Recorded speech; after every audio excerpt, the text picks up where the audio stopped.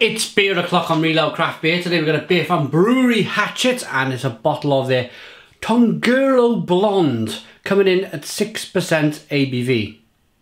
There's a look at the label. There's the gold bottle cap. Let's get the beer out into a glass and see what we get. Ooh, look at the smoke on the opening.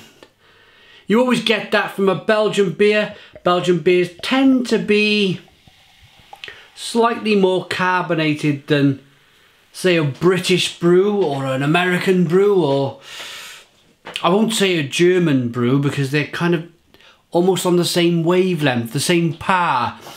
The Germans and the Belgians obviously like their carbonated beer. Most of them are bottle conditioned beers, so uh, that's where all that kind of carbonation comes from. If you want to know a little bit more about the bottle conditioning process, Google it and have a little read on how it's done.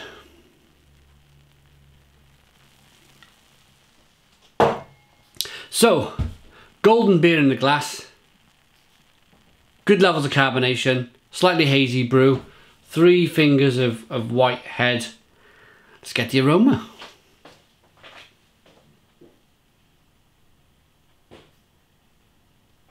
Yeah, it smells like a typical Belgian blonde. Spicy, touch of lemon, and that wonderful Belgian yeast.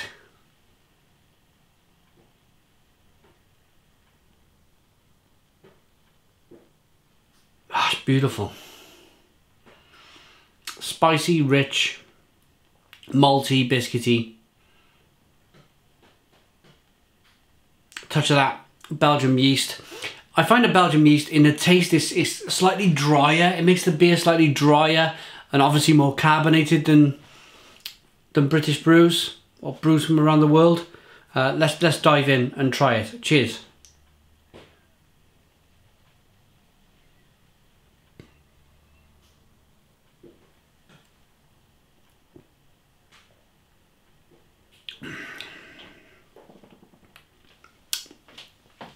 That's lovely. Very nice beer. Slightly rich. Quite, I'm not going to say quite sweet. I'm going to say there's an element of sweetness in there. It's not overly sweet. I'm not a fan of sweet beers. This is about right for my particular palate. It's not overly sweet, but there's a little bit of sweetness in there.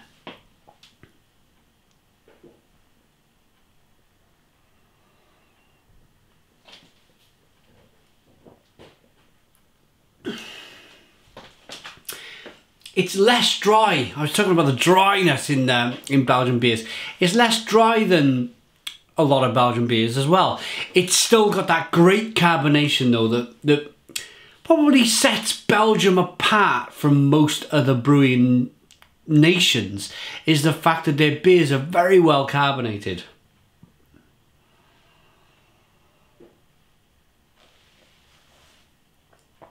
Biscuity, bready, malty. A touch of very small hint of a plum taste mixed with a hint of honey, a hint of lemon, bit of spice on the back end, a little bit of bitterness.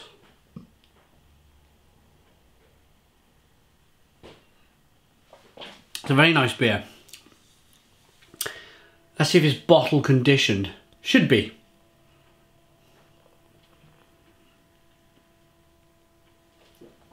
There you go. Can you see the difference now in the colour of the beer? A lot hazier. You can see some of the yeast there is clung to the side of the glass. Let's move my face out of the way so it can focus in. There you go. And it produces nice carbonation. I'll be very quick with the second fermentation process. I did ask you to Google it, but I'll be very quick. The brewer will try his best to evenly put a small amount of yeast into each bottle. The rest of the sugar in the wort, or it would be beer at that time actually, it would be, it would be past the wort stage, it would be beer. When it was bottled then, the beer, with a little bit of yeast, maybe a touch of sugar, it kicks off the second fermentation process, which is the way, and it eats up the rest of the residual sugars and it makes the beer naturally carbonated. So you'll see all them, them small bubbles rising through the glass. Uh, uh, that's my, without forced carbonation, it's a natural process that they've been doing for hundreds and hundreds of years. But if you want to know a little bit more about it, then, then please Google it up and have a look. So yeah, you can see that lovely lacing on the glass. I think it's a beautiful beer. Probably not too much English here. Oh, there we are. It's an Abbey beer brewed with the approval of the North Tins of Tongerlo.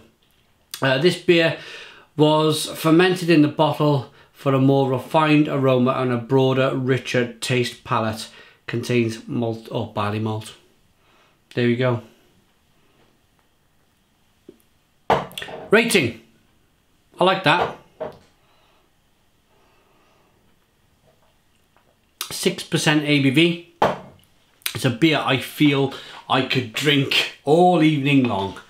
Um, probably catch you out at the end of the night, but hey ho, it's life. Beer does that to you. Why would you be drinking it otherwise? Don't tell me for a social occasion. I just go out and have one pint to be sociable. Ah, I don't believe you. Um, rating. I like that enough as Belgian blondes go to give that a bit of a Stone the Crows 9 out of 10. It's a 9 out of 10 from Real Ale Craft Beer. Please put your comments in the comments box. Subscribe to our daily beer reviews. Please give us a big fat thumbs up. Boom! And cheers.